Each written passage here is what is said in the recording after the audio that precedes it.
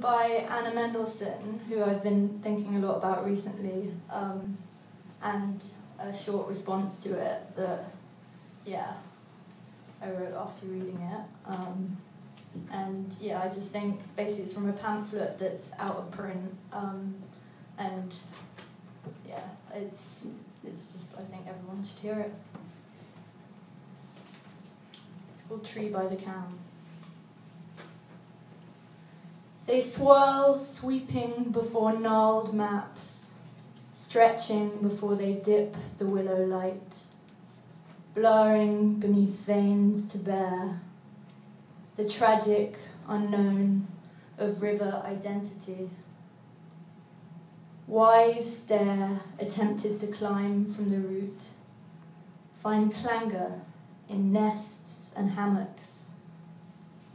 Beyond the reach of the phantom moon and the man whose arms are longer than his legs holds out, head back, head upright, head held, doubloons on his upper arms, his puppy lost, and my horses are houses held in silhouettes.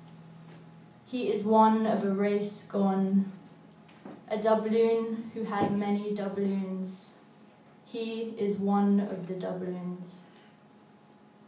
On his right knee rests his son.